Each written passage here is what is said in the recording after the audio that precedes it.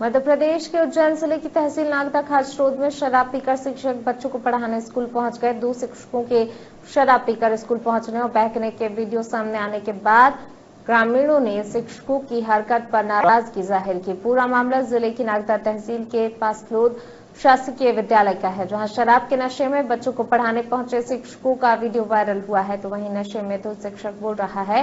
कि यारो, मुझे माफ़ करो, मैं तो नशे में हूँ। नागदा तहसील की ग्राम पंचायत पासलूद बदहाल शिक्षा व्यवस्था और शराबी शिक्षकों की दो तस्वीरें आपके सामने हैं। आपको बता दें कि उन्हेल क्षेत्र के आसपास अधिकांश सरकारी स्कूलों का यही हाल है। पासलूद में पदस्थ शिक्षक मोहनलाल हिंदल स्कूल खुला छोड़कर गाँव में शराब पीने पहुँच गए। उसके बाद शिक्षक ने इतनी शराब पी ली कि गाँव के बाहर रोड पर पड़े हुए मिले।